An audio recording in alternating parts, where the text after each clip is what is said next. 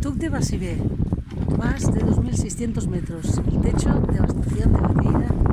Ya vamos girando la cara norte aquí delante con una cantidad de nieve impresionante, la que tiene Baqueira todavía. Y aquí nos espera una bajada fantástica para apretar los dientes.